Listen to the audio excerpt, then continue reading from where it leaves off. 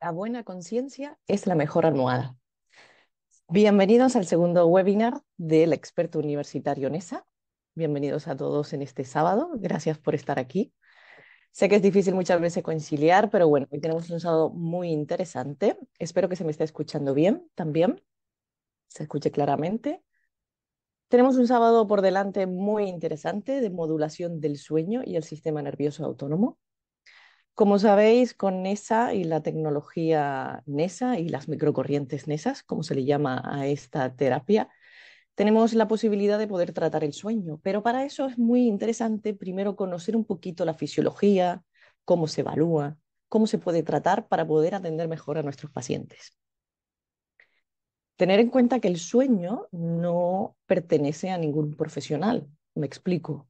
Quiere decir que el sueño no es eh, competencia de únicamente el neurólogo, del psicólogo o del neumólogo para los casos de apnea, sino que el sueño y la medicina del sueño es una disciplina multidisciplinar que se puede enfocar desde muchos aspectos, desde con nuestro entrenador físico porque el deporte nos permite mejorar, hasta el nutricionista, el neurólogo, el neumólogo si tenemos problemas respiratorios, el psicólogo si nuestros problemas vienen derivados de algún aspecto de salud mental o incluso hoy en día con los fisioterapeutas.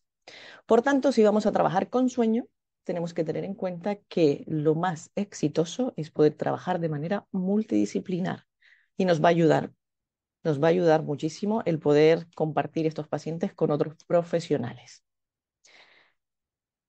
Antes de nada, tenéis que saber, que vivís en un país desarrollado, como es el caso de España, Europa, Estados Unidos o muchos países que están ya en vías de desarrollo con grandes ciudades. Cuando hablamos de países desarrollados con grandes ciudades, con horarios interpestivos, con horas de trabajo laborables también interpestivas, esto va a ocasionar que el 70% aproximadamente de cualquier país desarrollado vaya a tener problemas de sueño. Cambia un poco en algunos países, pero vamos de un 68 en Holanda, un 70 en España y así. O sea que vamos a encontrarnos que probablemente el 70% de los pacientes que entran a nuestra consulta van a tener problemas de sueño. Es más, aquí creo que somos conectados unos 30, pues probablemente el 70% de nosotros tendremos problemas de sueño. Y al mismo tiempo, uno de cada cinco sufre de insomnio. Aquí me gustaría hacer un pequeño inciso, eh, porque normalmente asociamos los problemas de sueño a tener insomnio. Y ya veremos que no todos los problemas de sueño son insomnios, hay diferentes tipos de patología. Entonces, por favor, no confundir estos aspectos y hoy vamos a ver cómo podemos evaluarlo para discernir en nuestros pacientes eh, por dónde podemos enfocar los tratamientos. En la última revisión del 2022 se determinó que los problemas de sueño, o sea, alteraciones en la calidad del sueño, van a afectar no solo a esa noche, que la pasemos mal, sino va a afectar a una serie de aspectos psico, biopsicosociales. Como pasa igual con la teoría del dolor, que es un aspecto biopsicosocial y puede afectar en todas las partes de nuestra vida, el sueño es igual. Entonces, el tener mala calidad del sueño a lo largo de los años puede determinarnos riesgos para tener ciertas comorbilidades. Eh, bueno, ya sabéis que cuando dormís mal, ¿cómo os sentís al día siguiente? Pues cansados, enfadados, eh, perdemos concentración, no recordamos cosas. Pues estos son riesgos que pueden estar ligados a ciertas enfermedades también, por supuesto, va a producir un impacto en la vida social que tenemos, nuestras relaciones. Si estamos cansados no vamos a querer salir, no vamos a querer comunicarnos. Esto también va a tener un impacto en nuestras relaciones íntimas, en la sexualidad. Otros aspectos también en la calidad de vida en general, como por ejemplo el poder hacer actividades durante la vida diaria, el poder conducir, el poder recordar cosas, como ya hemos dicho, eso va a afectar íntegramente a nuestra calidad de vida, a nuestra vida social y, por supuesto, la socioeconómica.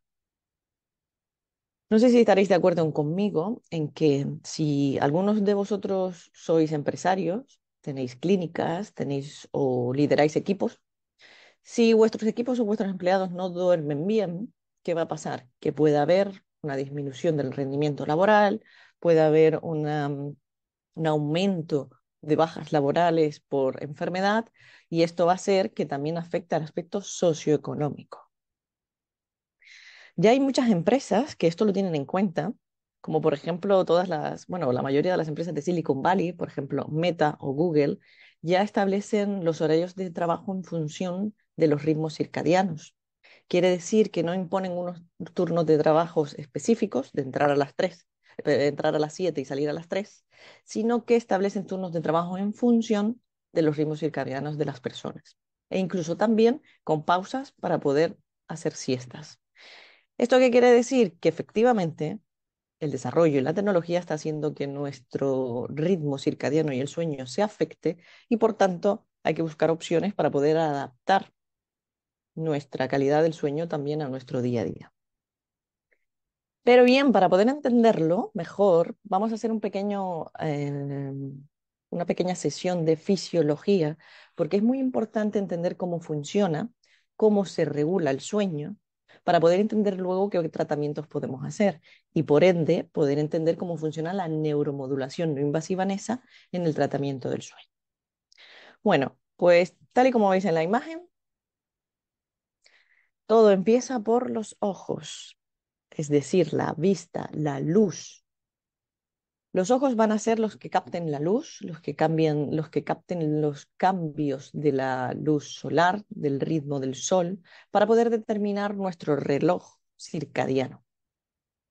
Tener en cuenta que el ritmo circadiano, que todos conocemos este concepto, se trata de un ritmo que sigue nuestro sistema fisiológico y endocrino basado en la luz solar.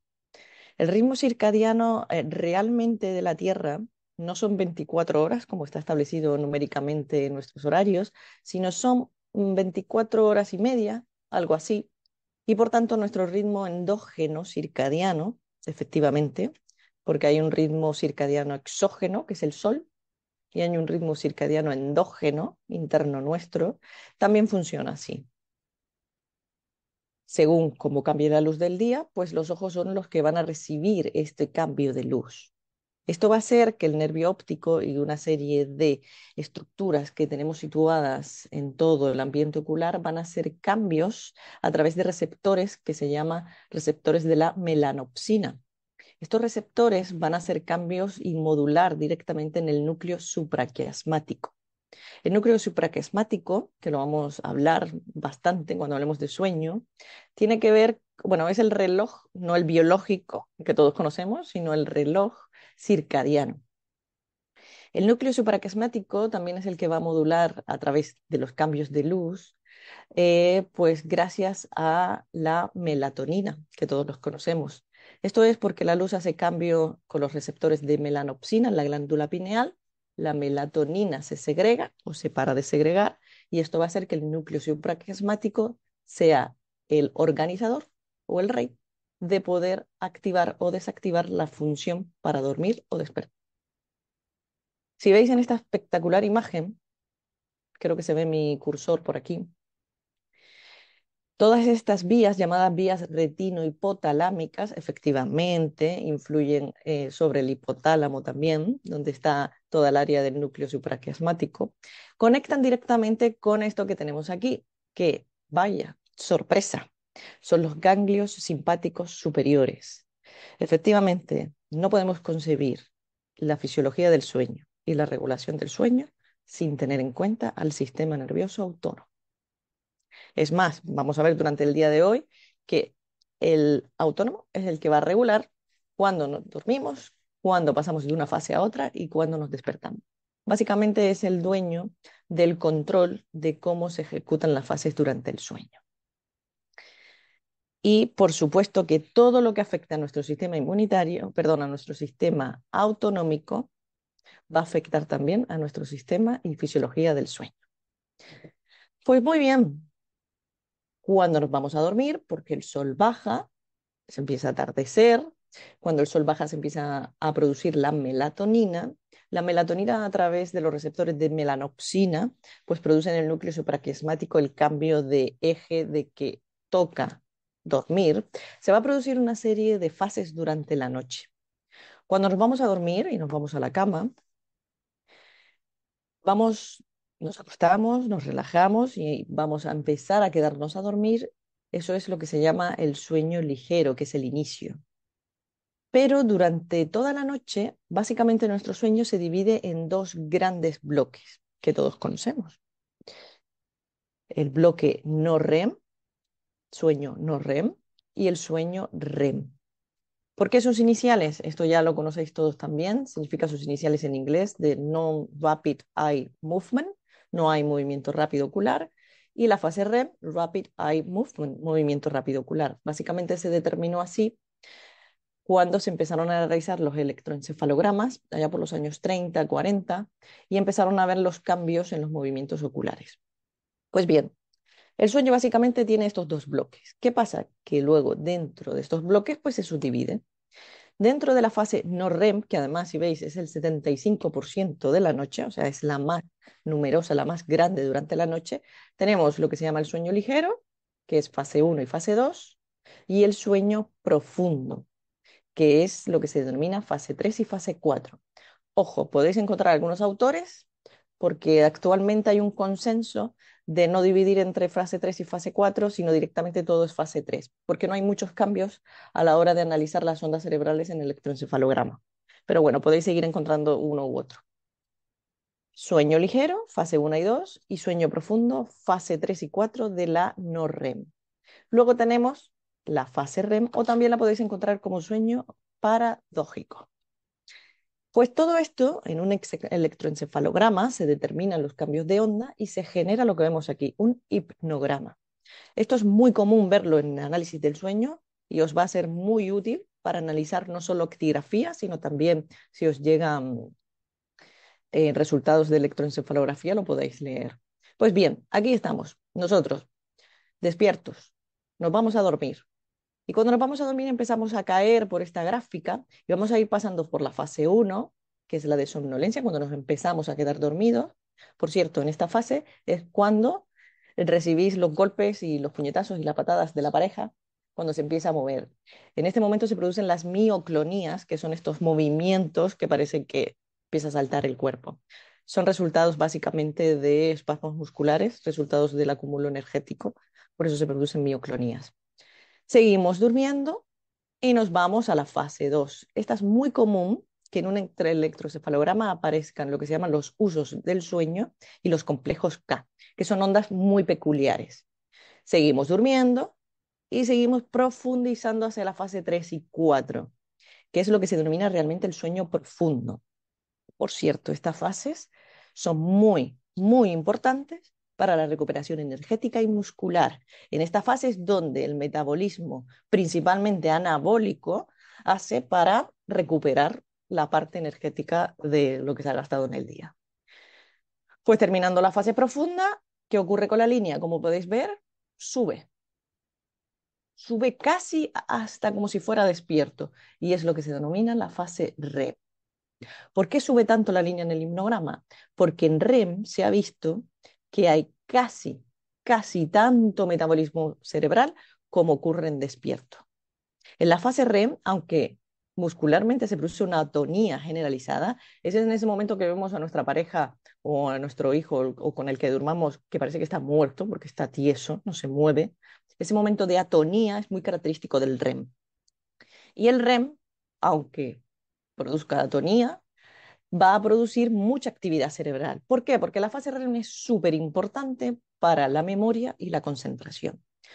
Como podemos ver, a lo largo de la noche se producen todo este ciclo de diferentes fases. Normalmente el ciclo de las cuatro fases de no REM más la quinta de REM dura unos 90 minutos y se produce entre cuatro y cinco ciclos durante la noche.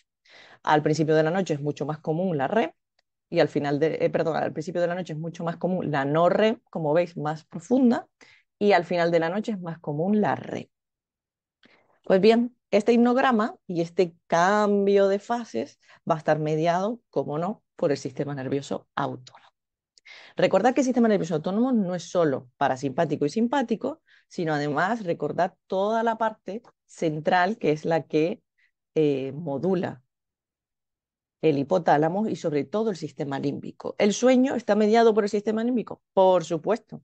Es más, un dato curioso. los sueños, el soñar, que realmente en ciencia se denomina ensueños, tenedlo en cuenta cuando leáis literatura sobre esto, los ensueños más lujuriosos y libidinosos ocurren sobre la fase REM, sobre todo, que están mediados por el sistema límbico. Tener en cuenta que nosotros podemos soñar, podemos tener un sueño durante toda la noche, pero realmente los que vamos a recordar son los de la fase REM, porque es donde más actividad hay. Pues bien, el sistema nervioso autónomo va a modular. ¿Cómo? Pues gracias a las diferentes partes del sistema nervioso autónomo podemos pasar de una fase a otra. Cuando estamos despiertos, pues sobre todo predomina mucho eh, lo que se llama un sistema colinérgico y noradrenérgico de activación. Y luego cuando cambiamos a dormir, ya cambia todo este sistema y el parasimpático es el dueño del sueño lento. El sueño lento es sinónimo de sueño profundo, ¿vale? El parasimpático es el que va a dominar la fase no REM, es el que nos va a permitir relajarnos para entrar a dormir y el que nos va a permitir llegar a las fases profundas para recuperar la función energética, muscular e inmunológica. Y como no, el simpático va a modular el sistema, el momento de fase REM.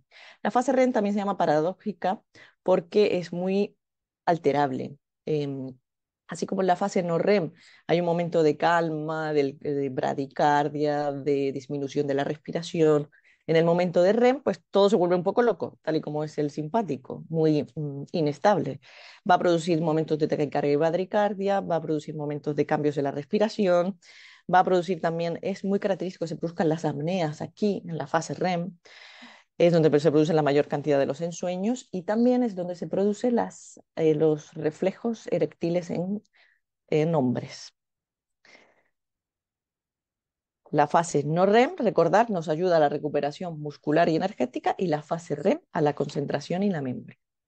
Por tanto, ¿para qué sirve el sueño? ¿Cuáles son los objetivos de dormir? He de decir que no está todo claro en cuanto a la fisiología del sueño, ¿vale? En cuestión de ciencia. Todavía nos queda mucho que aprender y no se conoce bien todo, todo lo que produce en todas las fases, pero sí ya hoy en día podemos saber muchas de las características y de los objetivos que tiene el dormir. Hay un libro, aprovecho la ocasión, para recomendarles este libro que se llama Why We Sleep o en español ¿Por qué dormimos? Lo tenéis en español también, de Matthew Walker. Es un libro muy, muy bueno para empezar a meteros en, la, eh, en el fascinante mundo de la, de la medicina del sueño. Es un libro para todos los públicos. Recomiendo también que pueda ser eh, leído por pacientes. Yo se los he recomendado a pacientes míos que han empezado a tratarse con problemas de sueño y también para vosotros, por supuesto. Si queréis empezar a mm, saber más sobre la fisiología del sueño, este libro es súper sencillo de leer y además utiliza un lenguaje cómodo para el público general, pero al mismo tiempo aspectos técnicos para que podamos ver en las referencias y la bibliografía y ampliar información. Pues bien, ¿qué va a producir el sueño o para qué funciona el sueño? ¿Qué nos beneficia? Pues ya hemos dicho, recuperación de la memoria, esto con la fase REM. Recuperación y regeneración energética, sobre todo para la parte física, la parte de anabolismo. Equilibrio emocional, por supuesto. Ya lo hemos hablado. Si no duermes bien, vas a estar enfadado al día siguiente. Toda la parte límbica requiere de este momento de sueño. Sistema inmunológico. De esto no se sabe todavía demasiado, pero sí que se conoce que el sistema inmunológico, sobre todo las actividades de la inmunidad TH1, más relacionadas con las vacunas y los anticuerpos, se regenera muy fácilmente y rápidamente durante la noche. Salud cardíaca. Dormir mal a lo largo de los años puede ser un riesgo para ser cardiópata, para padecer cardiopatías. No es ilógico pensar que el sistema cardiovascular que está inervado clínicamente por sistema nervioso autónomo, simpático y parasimpático, pues tiene que ver sobre todo si no dormimos bien, pues puede tener una afectación en este sistema. Y por supuesto, la productividad, la energía, el poder hacer las cosas, el poder tener concentración para hacer tu trabajo, el poder tener un estado de anímico correcto, el poder sobrellevar el día a día. Esto nos va a permitir que todo vaya bien si dormimos bien. Última revisión del 2020. Sleep and Pain. Se ha encontrado una relación muy, muy íntima y directa entre no dormir bien y el dolor. Esto la verdad es que cuando yo empecé a leerlo no me sorprende, porque si lo pensamos con lógica, cualquier paciente que tenga un dolor crónico, ¿creéis que pueda estar durmiendo bien? Suelto la pregunta de manera retórica. ¿Creéis que un paciente que tiene dolor diario va a estar durmiendo bien? Y aprovecho y suelto otra pregunta. ¿Este paciente que no duerme bien ¿Creéis que el no dormir bien puede incrementar su problema de dolor? Efectivamente, existen numerosas, numerosos papers y artículos relacionando el dolor con la mala calidad del sueño y viceversa. Es más, en esta última revisión se ha visto que no dormir bien a lo largo de los años es un factor, ya lo hemos hablado, cardiovascular, pero es que también es un factor de demencia, de obesidad, de diabetes, de depresión, de dolor, de mortalidad. Tener en cuenta que sobre todo en la noche se produce lo que se llama eh, mal y pronto eh, una limpieza cerebral, ¿vale? Y esta limpieza cerebral se produce sobre todo para, eh, durante la noche, como aumenta la actividad cerebral, se produce también cambios a nivel de como una especie de barrido que se produce durante la noche y esto va a ser muy importante en los aspectos sobre todo de limpieza, eh, perdón, aspectos de demencia, de Alzheimer y de todos estos aspectos que tienen que ver con el deterioro cognitivo. Es lo que se llama el sistema linfático, que es el sistema linfático que se encarga del sistema nervioso central. Este sistema linfático, sobre todo por la noche, aumenta su metabolismo para hacer esta especie de limpieza y esto lo que va a producir es que elimina estos residuos, que además se ha visto que el sistema linfático tiene una gran implicación en los desarrollos de demencia y Alzheimer. Esto está demostrado. ¿eh? Mala calidad del sueño durante muchos años, alto riesgo de demencia y Alzheimer. Tenerlo en cuenta. Probablemente todos tenemos un amigo que siempre dice, o amiga, que siempre dice que dormir es una pérdida de tiempo. Siempre hemos oído esto. No, yo prefiero no dormir y trabajar un poco más. Pues tener en cuenta que el no dormir, aunque trabajes hoy, puede hacer que tu vida cognitiva real se pueda ver mermada a lo largo de los años. Y no solo con esta parte, sino también lo vemos aquí. Dolor crónico. La deprivación del sueño, la falta del sueño, aumenta la sensibilidad del dolor. Esto está demostrado.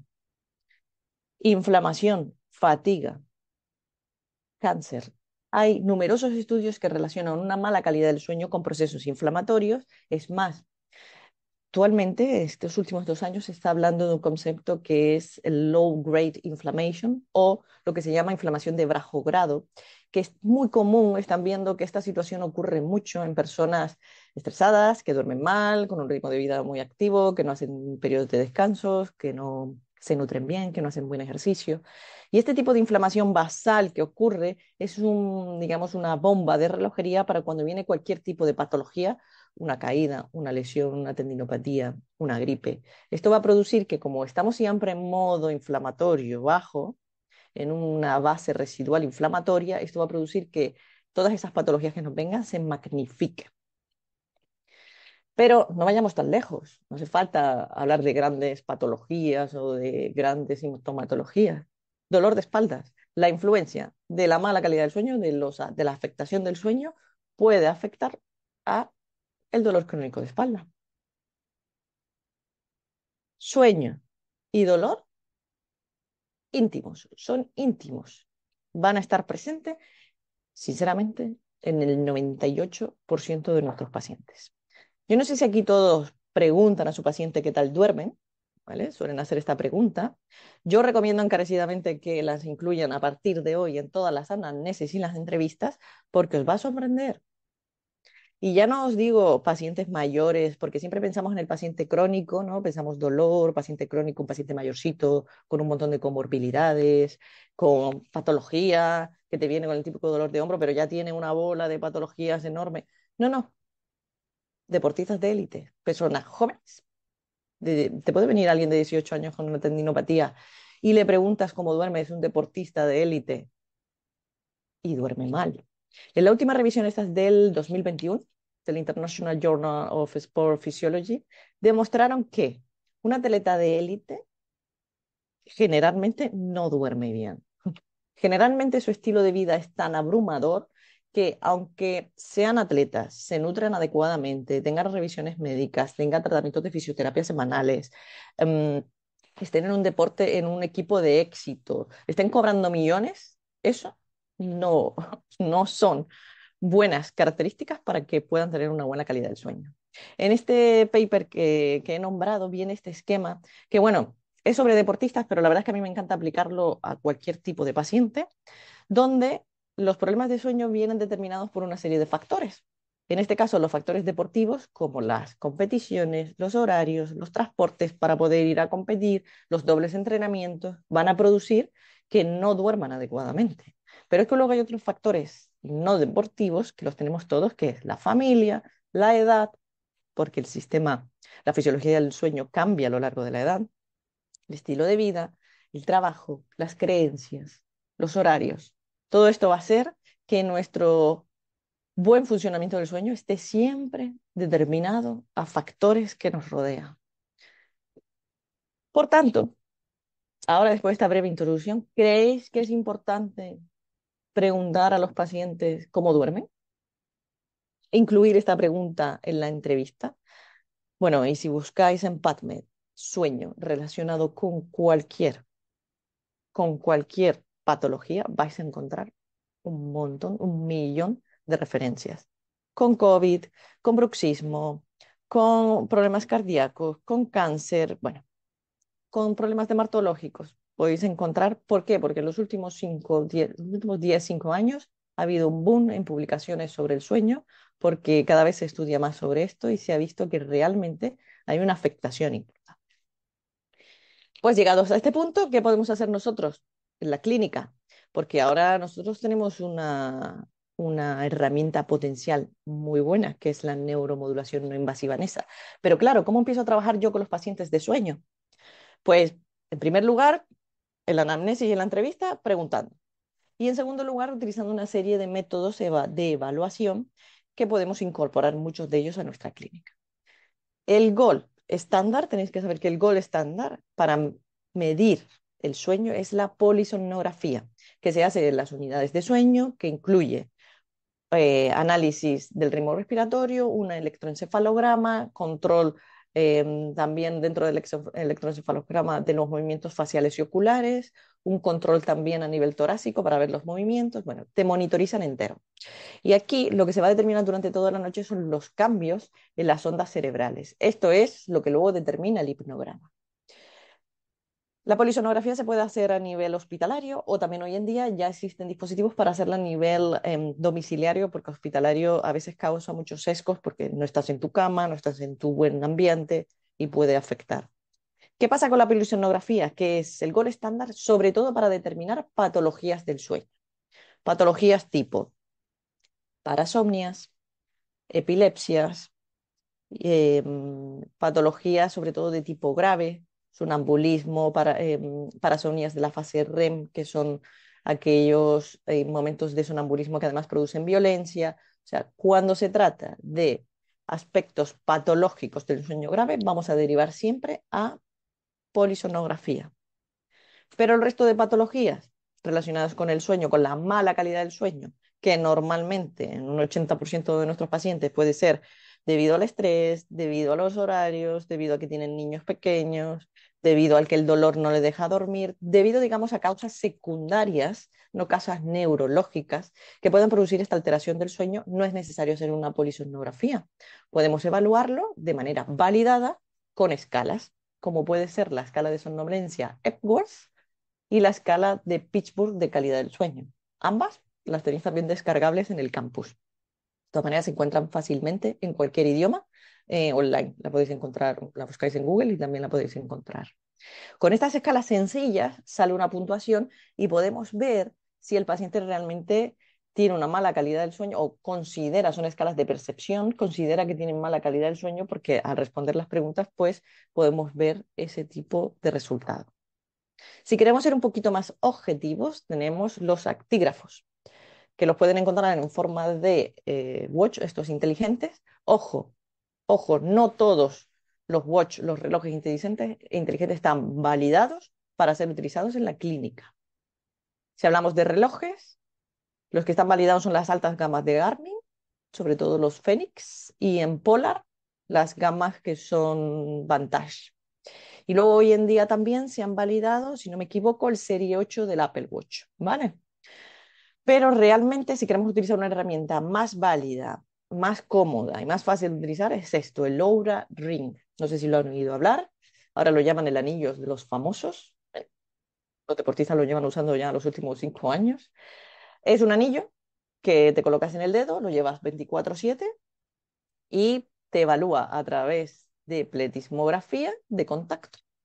Esa lucecita verde que aparece también debajo de los watch te evalúa la calidad, eh, te evalúa el sueño basado en los cambios cardíacos, porque como habíamos dicho, cambian los ritmos cardíacos en función si es fase no REM y REM, y esto al final, a través de unos algoritmos, te genera una serie de información, donde aquí se ve la pantalla, se ve el aura, te saca un hipnograma maravilloso que se ve aquí, donde se vean además las fases profundas, fase profunda, más oscura, ligera, REM, la fase es color turquesa, y los despertares, que además aquí en este hipnograma, casualmente, como veis, se ven muchos despertares durante la noche.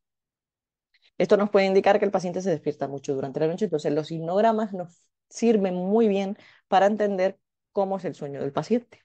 Esto lo lleva el paciente durante una semana, lo puede tener propio o lo podemos tener en la clínica, como hacen muchos compañeros.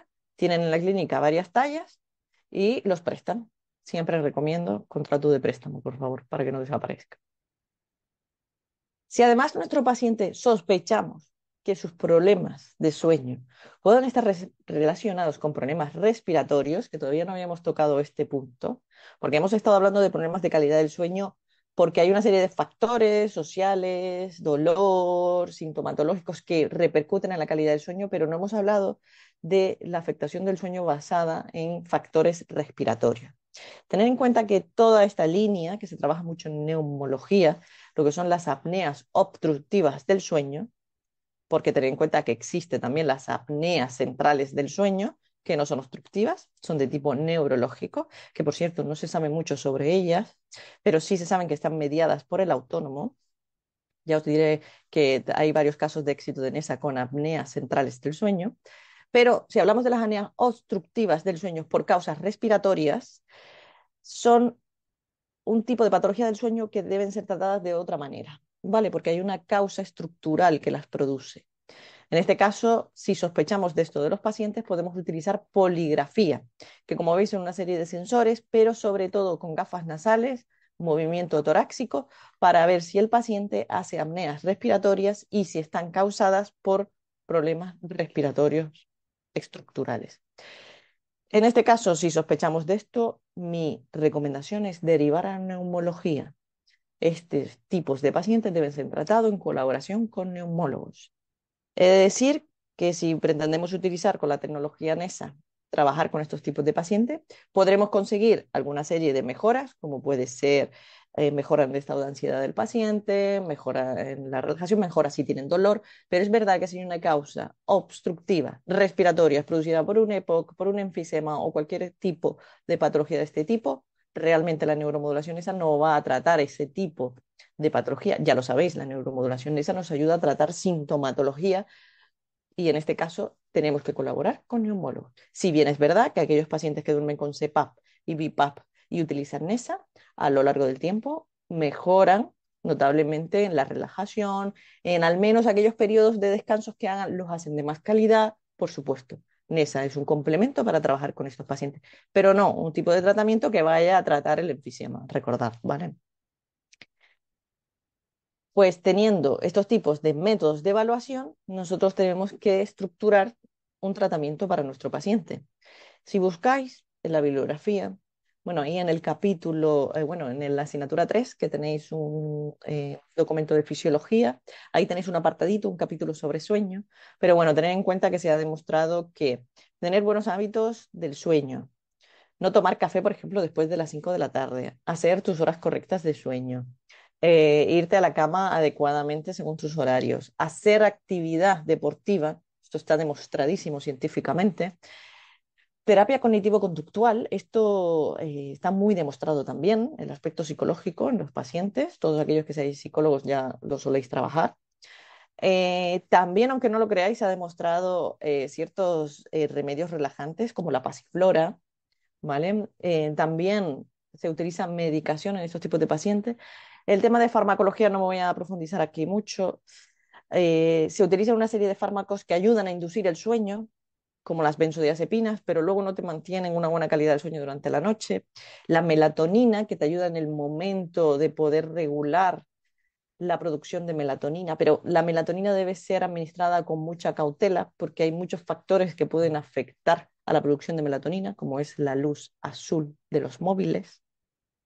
La melatonina también se debe administrar según los ritmos circadianos, que esto es lo que se llama el cronotipo o tratamientos cronobiológicos.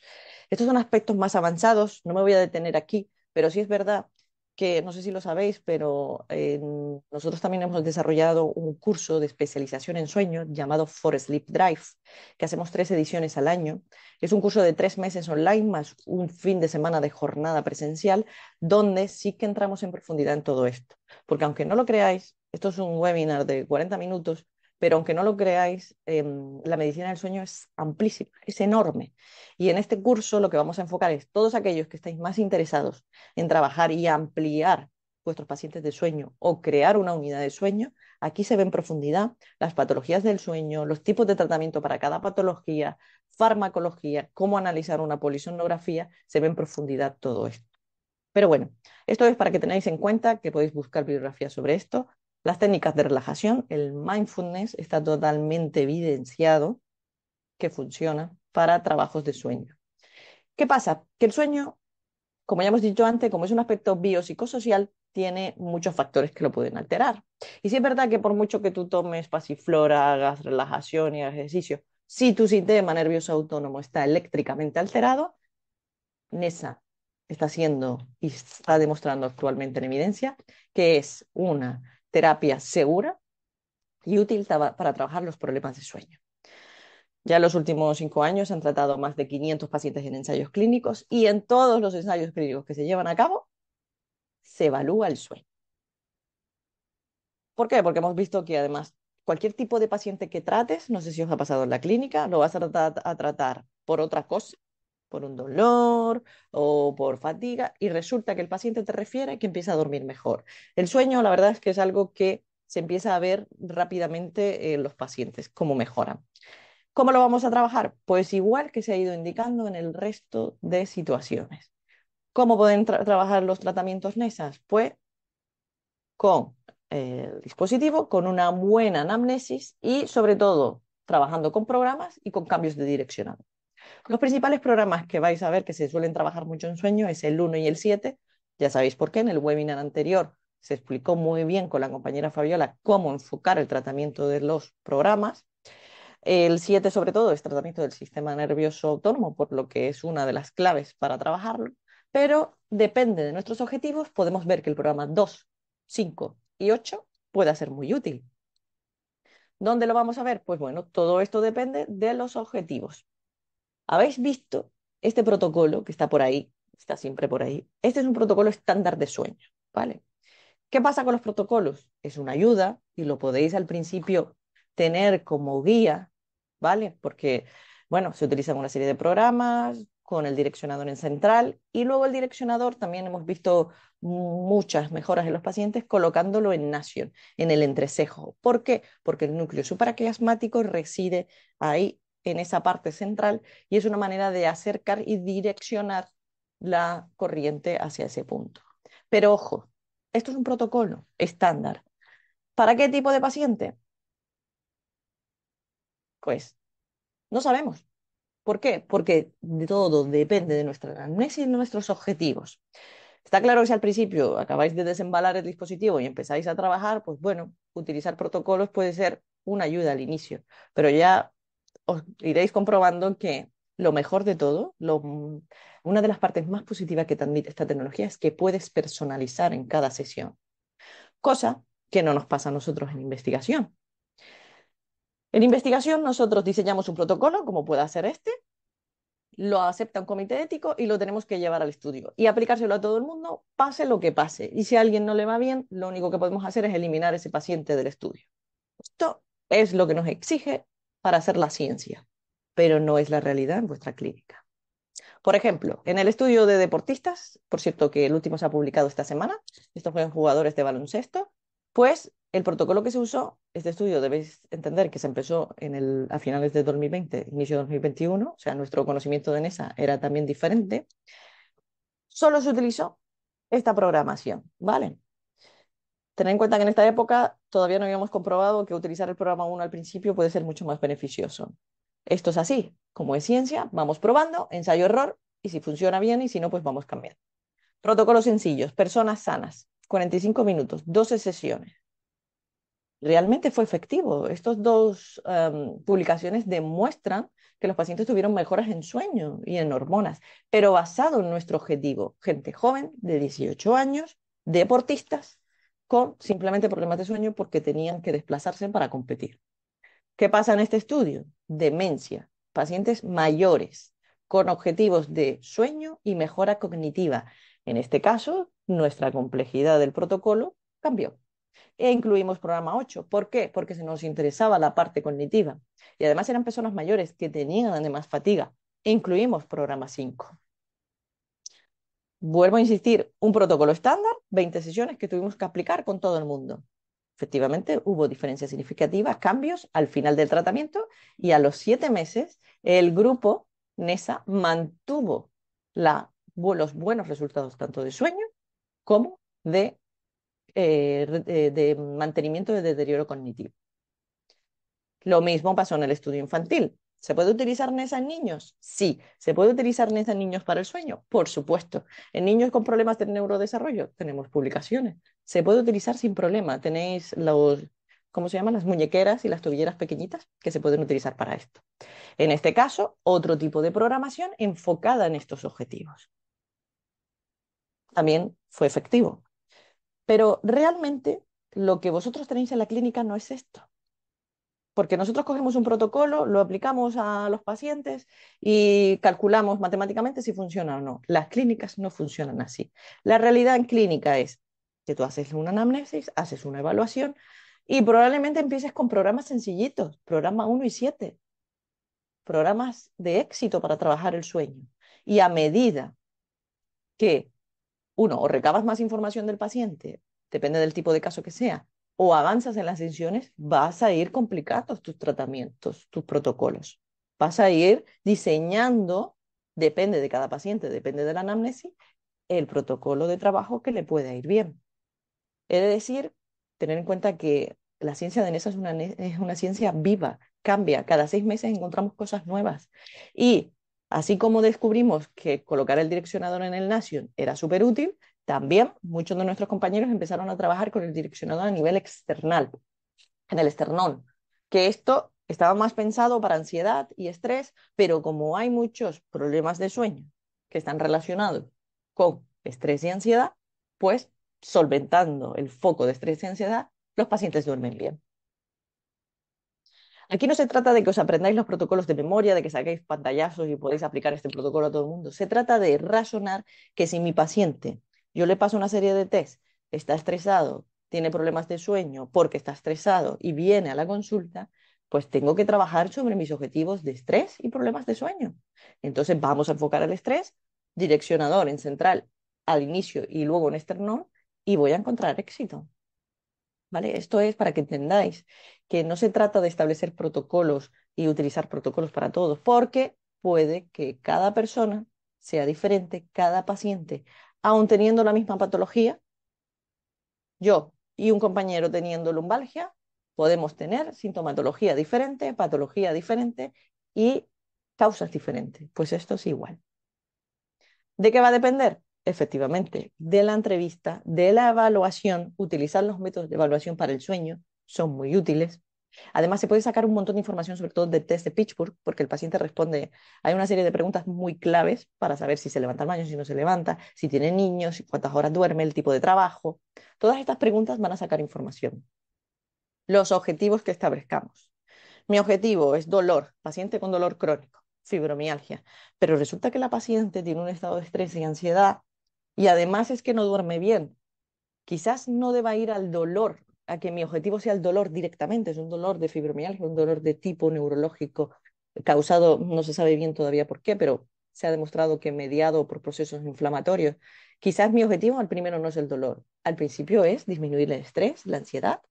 Trabajo con, con programas para estrés y ansiedad, que además me va a mejorar el sueño. Esto va a hacer que la paciente esté más simpática, más activa, más motivada. Le puedo meter un programa de ejercicio con tratamiento NESA, simultáneo o en días alternos, y luego voy a ir al foco del dolor. Voy a ir al dolor. Y luego, por supuesto, en los estudios nosotros determinamos tres veces por semana este protocolo, estos pacientes, venga, lo que salga, los que puedan venir bien, los que no tan bien. Esto en la clínica no es así. Todo depende del paciente, de la clínica, de los horarios, de la logística y de tu recomendación. ¿Se puede trabajar el sueño dos veces por semana? Sí. Si tu objetivo, eh, todo depende del acuerdo que tú llegues con el paciente para el tratamiento. ¿Se puede trabajar el tratamiento, el tratamiento del sueño diariamente? Pues bueno, hay deportistas profesionales que tienen su propio dispositivo NESA, que los controla su fisioterapeuta o su profesional sanitario, y ellos se los ponen diariamente como un tratamiento preventivo, por supuesto. No hay contraindicaciones ni efectos secundarios en usarlo diariamente. La realidad es que en los estudios científicos siempre se usa alterno, dos o tres días en semana, porque si no los pacientes al final no se comprometen.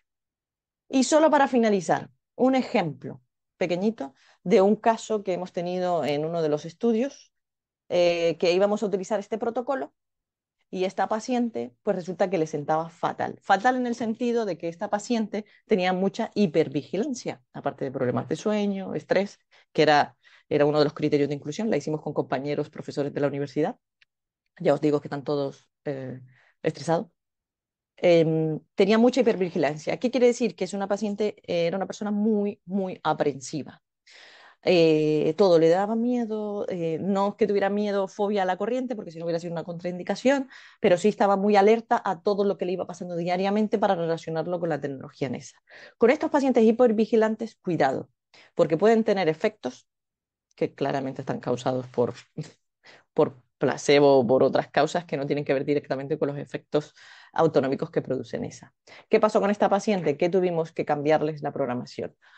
Solo con el programa 1 y 7, bueno, y con 8 ya decía que notaba eh, muchos efectos secundarios, que bueno, muchos de ellos no tenían que ver directamente con esa, sino por su, decía que bueno, que se le abría la mente, que sentía todas las cosas, que sentía más el viento, bueno, este tipo de paciente que es muy característico y lo podemos encontrar no significa que no podamos tratarle en esa, significa que, bueno, no pasa nada, no se puede hacer este tratamiento, pues podemos cambiarlo a más sencillo, solo con programa 1 en pacientes muy hipervigilantes o, pacientes que están muy alterados, se puede trabajar bien. ¿Qué ocurre? Que tuvimos que eliminar a esta paciente del estudio. ¿Qué pasa? Que la verdad es que nosotros somos comprometernos con los pacientes y sobre todo como eran compañeros, pues decidimos seguir tratándolos, eh, no dentro del estudio, pero bueno, fijaros, de la, de la 1 a la 5, 45 eh, minutos. Programa 1, 30 minutos, programa 7, 15, central, porque no hubo manera de cambiar el electrodo direccionador. Luego, a partir del sexto, pues ya pudimos incrementar el programa 7. Efectivamente, la paciente mejoró. Mejoró en pitch food, mejoró en cortisol, cuestionario SEP de estrés, y aquí he puesto esto de la variabilidad cardíaca porque como esta paciente era tan hipervigilante y tan aprensiva, la variabilidad cardíaca se volvía loca. Había días que cambiaba, otros días que sí, unos días mejoraba, otros días depende cómo viniera ella de estrés y cómo viniera de hipervigilante. En este caso la variabilidad cardíaca no era una, mm, una buena variable para medir porque se alteraba mucho en función de cómo ella llegaba, pero el resto de test pues sí fueron bastante fiables. Esto es simplemente un ejemplo para que veáis, me he ido un poquito de la hora, pero creo que era interesante verlo, porque podemos diseñar nuestros tratamientos, sobre todo de sueño, basado en los objetivos que queremos y en el tipo de paciente. Bueno, esto se aplica a todos los aspectos de NESA, pero sobre todo en este caso para que vierais cómo puedo cambiarlo, pero solo con el programa 1 y 7 puede ser muy efectivo.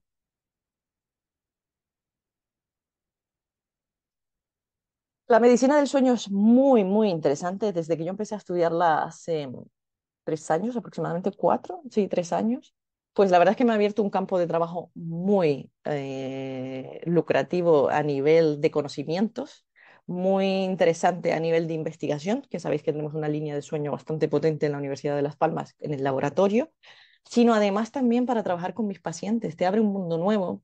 Hay muchos compañeros que están diseñando unidades del sueño y dentro de su clínica tienen su unidad del sueño y la verdad es que es un campo que está en auge y creo firmemente que ha venido para quedarse. Tenemos que preguntar a nuestros pacientes cómo duermen y tenemos que intentar ayudar, sobre todo si tenemos la tecnología en esa, basado en buenas evaluaciones y en trabajos con razonamiento clínico.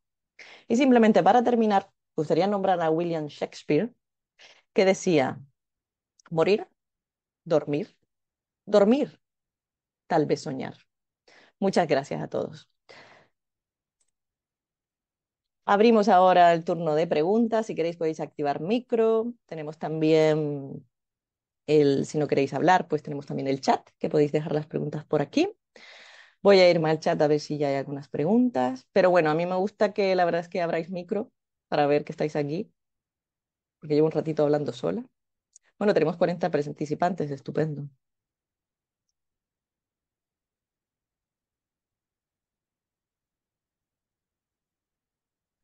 No sé si me oyes.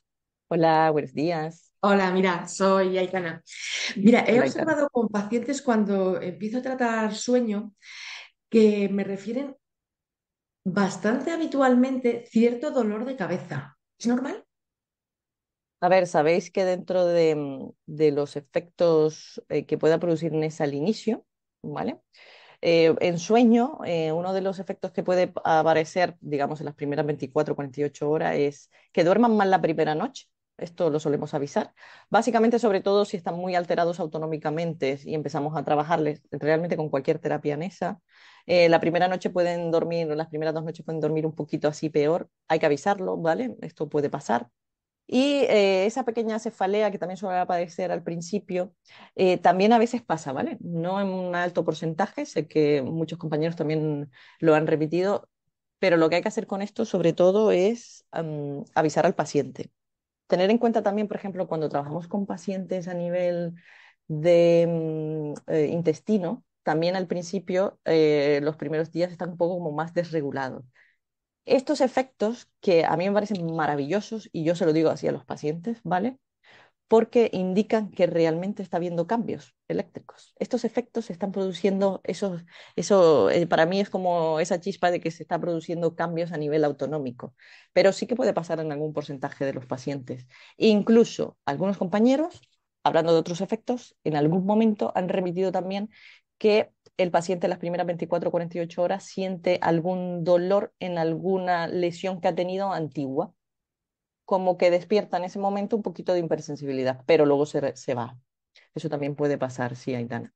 Al final no todos los pacientes son iguales, hay algunos que les pones NESA y la verdad es que no sienten nada y van evolucionando y van mejorando, y después hay otros más sensibles que sí que pueden notar algún efecto.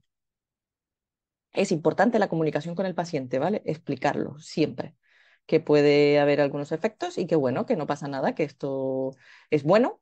Yo, lo, yo se lo digo así, es bueno porque nos permite ver que ha, ido, ha habido cambios.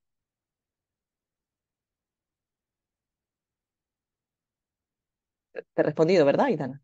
Sí, sí, sí, perdona, que es que estaba hablando con el teléfono, con el micrófono ah. apagado. No, así que vale, que muchas gracias. Sí, también lo había observado, lo que pasa es que eso ya será para otra webinar, supongo, con mm. conductores, lo de al empezar que tengan insomnio. O sea, que la primera noche me digan, oye, no me lo quiero poner porque... Eh, sí, mm, la primera... Eh, pasa, a ver, tener en cuenta, esto se hablará más adelante conductores, pero tener en cuenta que los conductores es, digamos, eh, fue el origen de NESA y los conductores es como aplicar NESA pero en pequeñas dosis. Entonces sí que puede haber, por supuesto, puede haber, em, digamos, esos efectos autonómicos. Pero sí, eso mejor ya cuando lleguemos al punto de conductores podemos hablarlo tranquilamente. Vale, muchas gracias. Gracias, Aitana. Muy bien, tenemos por aquí alguna preguntita en el chat.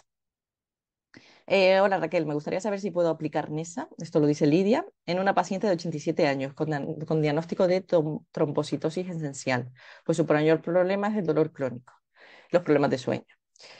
Esto supongo que lo preguntas en cuestión de las contraindicaciones. La trombocitosis no es una contraindicación. Recordad, contraindicaciones de NESA absolutas son las de la electroterapia marcapaso y embarazada.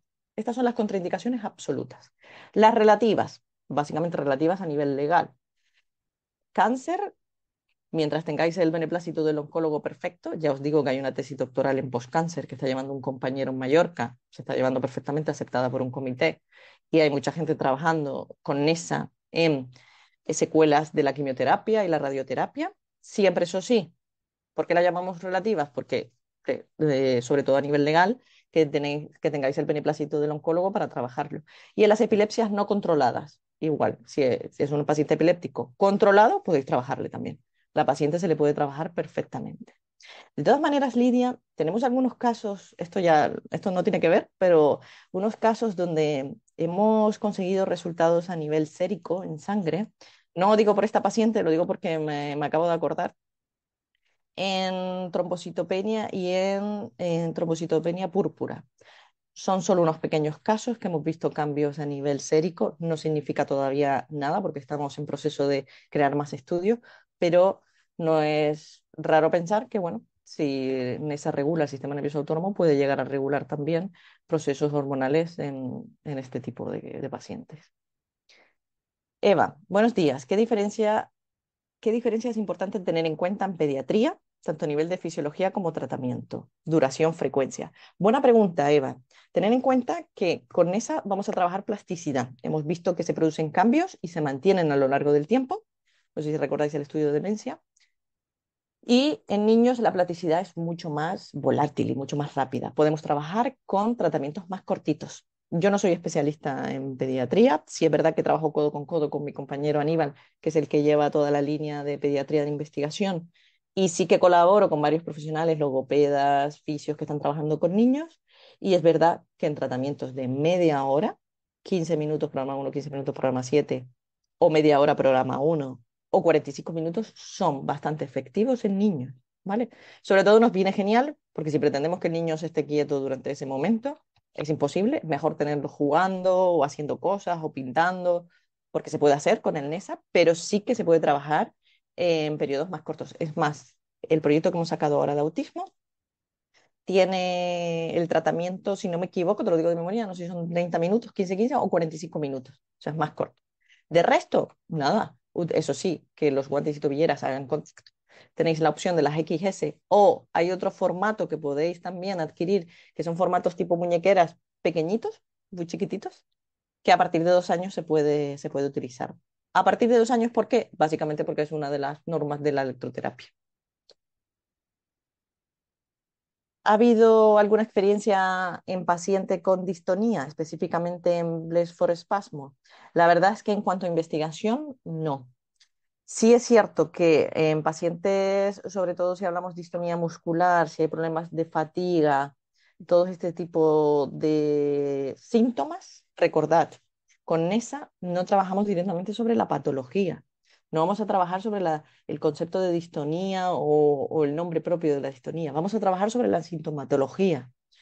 El paciente tiene problemas de sueño, se fatiga y, tiene dolor, por ejemplo. Pues ya en esa se puede trabajar perfectamente. O sea, todo depende de los objetivos que quieras trabajar con el paciente, ¿vale? Ya solo con problemas de sueño ya puede ser buena opción. O sea, que tienes posibilidad. Tenemos aquí, por ejemplo, a Lucía. Hola, Lucía. Esta es una investigadora del laboratorio. Tengo dudas sobre el electrodo direccionador. Solo con el programa 7 se puede elegir colocar el electrodo direccionador en la frente. Si utilizo un programa 5 y 7, ¿se puede colocar o solo en cervical? Hay una serie de directrices que, a ver, sinceramente, esto va cambiando en función de nuestro conocimiento que vaya ampliando, ¿vale? Sí que, por ejemplo, con el programa 1 sí que se recomienda siempre hacerlo central, sobre todo por el concepto de empezar al inicio, de empezar central, de una manera más sistémica. El resto de programas se pueden trabajar a nivel focal y metamérico. Eh, en estudios, em, creo recordar que no lo hemos hecho, pero sí me constan muchos casos de compañeras, no sé si alguna está por aquí conectada y quiere aportar, donde se está utilizando eh, el programa 7 a nivel de nación, también se puede utilizar el programa 5, eh, programa 8, pero la cuestión es, no es si se pueda o no, la cuestión siempre es, ¿cuál es mi objetivo? Yo quiero trabajar el programa de fatiga y lo quiero trabajar en Nation para el supraquiasmático, el programa 5. a lo mejor no le veo mucha lógica yo trabajar así. Mm, pero, ojo, el razonamiento clínico de cada uno va en función del tipo de paciente. En este caso, por ejemplo, en el caso de distonía, yo lo trabajaría más a nivel central. El 7, que es directamente para sueño en nivel Nation, pues sí. El 8 podría, pero recordad que el 8 es un programa bastante intenso, bastante potente, y el 8 sí que puede eh, trabajarlo con cautela. Al principio ponerlo solo 15 eh, minutos. Eh, estos son recomendaciones también de compañeras que llevan trabajando en esto bastantes años y podéis trabajarlo a nivel central y luego si queréis trabajarlo a nivel más focal, lo único tener en cuenta que puede haber esas reacciones autonómicas de las que hablaba Itán al principio. Em, creo que por ahí acabo de responderte también, Patricia, el programa 8, si se puede utilizar en Nation. A ver, lo puedes trabajar en diferentes puntos, pero ojo, siempre buscando los objetivos. No empecéis con un paciente de cero con el programa 8 en Nation, porque ya os digo que así sí que va a aparecer dolores de cabeza y va a aparecer eh, estas sensaciones que ya comentaba Aitana. Eva, ¿qué tienes que tener en cuenta a la hora de programar frecuencia y progresión de tratamiento, tanto en adultos como en niños? Bueno, Eva, esto es una pregunta bastante general. Básicamente, el experto universitario, uno de los objetivos es que aprendas a hacer razonamiento clínico, ¿vale? Y esto eh, va en función como pasa en cualquier otro tratamiento. No sé si eres fisioterapeuta o médico, pero bueno, si tú decides hacer un tratamiento, por ejemplo, si le quieres hacer al paciente una movilidad, lo digo fisio porque es mi, es mi profesión, o quiero mandarla a hacer unos ejercicios, yo tengo que estudiar bien al paciente. Tengo que hacerle una buena anamnesis, hacerles unas escalas, que ahora tienes las de sueño, y depende del síntoma que tenga, pues entonces empiezo a trabajar mi razonamiento clínico con mis programas. Ya sabéis también del, del ¿cómo se llama? Del, del webinar anterior, que se recomienda poner programa 1 al inicio, ir trabajando al principio con programas más amables, luego ir incrementando, y luego en sueño, pues depende de la tipología del paciente, pues podemos incluir los programas de fatiga u 8. Eva, veo que has activado micro. Si quieres comentar algo. Eh, que Hola. el seminario. Eh, la pregunta más eh, enfocada que eh, bueno, hay un seminario grabado de María, fantástico, con varios casos y demás. Y claro, eh, ella en cada caso pues eh, comenta, yo le propuse de entrada eh, hacer un tratamiento de 12 sesiones, dos semanas, tres, mm, durante tres días a la semana y luego la tercera pasamos a tal. Entonces, claro, el tema es que cuando estamos empezando y no tenemos ese background de experiencia de, vale, ya veo este paciente, ¿no? Mm. Que poco qué condiciones tiene, entonces ya sé que más o menos pues va a necesitar dos semanas con tal frecuencia, luego ya vamos a poder bajar, sino que claro, no tenemos ¿no? Esa, ese, ese bagaje.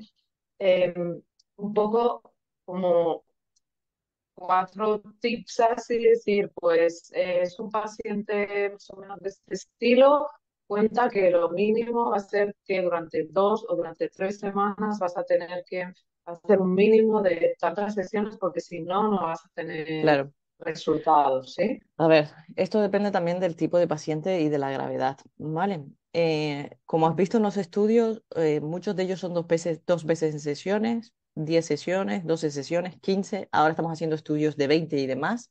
Y con dos sesiones la verdad es que está funcionando muy bien todo, por eso digo que al final hay muchos factores en juego porque luego depende del tipo de paciente, de su poder económico, si, puede, si vive lejos de la clínica, si todos estos aspectos creo que es un apartado que debes negociar con él, ¿vale?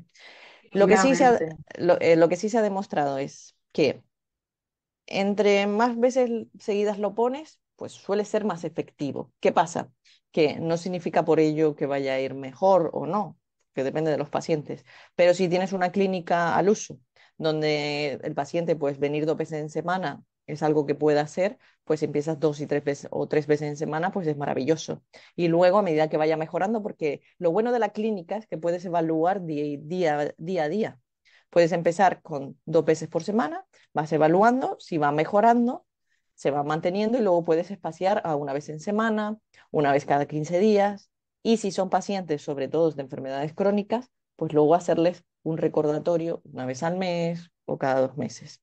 Pero en sueño, ¿vale? Que es sobre todo el apartado que trabajamos, eh, el sueño siempre, la mala calidad del sueño, que estamos hablando del tipo de paciente, ¿vale? Dejemos a un lado los pacientes con problemas neurológicos tipo parasomnias y epilepsias y estos aspectos que se enfocan de manera diferente porque hay que combinar varios tipos de tratamiento del sueño, no se puede hacer solo en esa, sino tenemos que meter hábitos del sueño, cronobiología, etc. En los pacientes al uso que tenemos, eh, que normalmente vienen por problemas de sueño, consecuencias de otras cosas, como dolor, estrés y tal, con dos veces o tres, si pudieras en semana, es perfecto para iniciar. Sobre todo también es bueno para adherir al paciente, al que el paciente se acostumbre a venir. ¿vale? Por eso en esa muchas veces se trabaja con bonos de tratamiento, con bonos de 10, porque sabemos que lo recomendable, y ya se ha demostrado en ciencia, es que al menos hagan 10 sesiones. Y ya os digo que en sueño se necesita, o sea, se ven efectos. Puedes el paciente empieza a ver cambios a la segunda, tercera, cuarta sesión, pero es necesario mantener un tratamiento continuado. ¿Por qué? Porque si el factor de la mala calidad del sueño es el estrés en su trabajo, el estrés va a seguir ahí es un factor que siempre va a seguir. ¿Qué tenemos que trabajar nosotros? Pues el trabajo de sueño, pero al mismo tiempo, pues recomendaciones de calidad. Hacer ejercicio, mm, si necesitas ir a un psicólogo para que te trabaje la adaptación a tu, a tu estrés, ¿me entiendes? Por eso el sueño se debe concebir siempre e intentar hacer lo máximo que puedas multidisciplinar. Pero vamos, siempre nuestras recomendaciones empezar dos veces por semana o tres si pudieras, es maravilloso. ¿Vale? No sé si te ha ayudado, pero es verdad que no hay una ciencia exacta sobre esto. Porque... Sí, obvio. ¿Y qué, cuáles son las claves que, a ti te pueden indicar a ver, ¿cómo, qué margen le doy de respuesta? ¿no? Yo pongo yo a un protocolo y lo empiezo a tratar y obviamente no va, no va a haber una respuesta en la primera sesión o tal vez en la segunda. Pero ¿qué margen podemos dar como para decir, vale, aquí ya tendría que estar respondiendo o eh, aquí toca un cambio de enfoque, ¿sí? O sea, un poco cuáles son los tips eh, para, para implementar los cambios o, darle un margen más de, para ver la respuesta. Estupendo, Eva. Sí, creo que está Fabiola por aquí. ¿Quieres hablar, Fabiola? Sí, la verdad que sí. Claro. Eh, la, cuestión de los tiempos es una cosa que se habla con los pacientes desde el principio, ¿no? O sea, cuando sentamos al paciente en la anamnesis, lo que evaluamos son las comorbilidades que tiene ese paciente, la cronicidad de, lo que tiene, y ahí damos unas expectativas. Yo normalmente a una persona que no tiene unas comorbilidades muy grandes y que, y que a lo mejor tiene pocos objetivos, ¿no? A lo mejor solo vamos a mejorar el sueño o solo vamos a mejorar la ansiedad, a esos pacientes les pongo un margen de 10 sesiones. En 10 sesiones tenemos que ver cambios y hacemos todo lo posible por ir eh, cambiando los programas, adaptándolos a la sintomatología que nos dice. Entonces, en las primeras sesiones siempre hacemos lo mismo porque son unos programas básicos y a partir de ahí vemos si esos programas sistémicos ya generan cambios. Si esos programas sistémicos generan cambios, seguimos en esa línea y seguimos, seguimos tratando de una manera general. Después, con todas esas anamnesis y todas esas preguntas que tenemos, vemos a ver eh, cuál es el origen del problema que tiene el paciente si el origen pues, puede ser más la ansiedad o si el origen tiene, está definido porque tiene un Parkinson y tiene una degeneración. Entonces, eh, yo hay pacientes a los que les digo que es un año de tratamiento. Por ejemplo, un paciente que viene con fibromialgia, yo le digo que es un año y que a lo mejor en 20 sesiones es cuando vamos a dar un margen de 20 sesiones. En un paciente crónico con muchas comorbilidades y muchos objetivos. En cambio, en un paciente que no tiene muchos objetivos, pues intentamos eh, hacer eso, 10 sesiones y en 10 sesiones vemos. Y vamos modificando los programas buscando ese cambio que queremos ver, tanto para bien como para mal, que es lo que decía Raquel antes. incluso a veces tenemos cambios que son eh, no tan positivos para el paciente, pero son cambios. Y eso quiere decir que estamos tocando el sistema nervioso autónomo, no en la medida eh, necesaria, pero solo podemos modular cambiando los programas, cambiando la intensidad, o generando cambios en el electrodireccionador y vamos, el tratamiento va con, eh, con la sintomatología que va refiriendo el paciente de cada cosa. Entonces, eh, depende de la cronicidad, eso, ponemos una expectativa de pocas sesiones, de 10 sesiones, o ponemos una expectativa de 20, 30 sesiones. Tengo pacientes que, que vienen, llevan 20 años con un problema, no, a lo mejor no conseguimos cambios en 10 sesiones con esos pacientes y se lo explicamos se lo explico, mira, llevas mucho tiempo con esto y te voy a recomendar hacer 20 sesiones. incluso hay gente que es eso, que empieza a mejorar en la 15 o en la 17. Ahora tuvimos una paciente con un dolor postquirúrgico de 5 años de evolución y ha notado, bueno, es que estábamos ayer flipando en clínica porque fue la primera vez en 17 sesiones que lleva que nos dice que se encuentra mucho mejor cuando ha venido 17 sesiones y ha, tenido picos peores, picos que se mantenía. Entonces, en ocasiones hay pacientes duros y lo que tenemos en experiencia es que hay veces que las sesiones son largas. No con todos los pacientes, pero hay pacientes que sí, que son así. Espero haberte ayudado, Eva. Gracias. Eh, ¿La frecuencia de tratamiento en pediatría es equivalente o se espacia más o al contrario? En, pediatría, pues como hemos dicho, la plasticidad es mucho más volátil, más em, ellos eh, son más activos. Sí es verdad que en todos los estudios que trabajamos, trabajamos dos veces por semana y han sido efectivos. E incluso una por semana ellos reaccionan bastante bien al tratamiento porque su plasticidad es que es viva. Entonces se puede trabajar también así.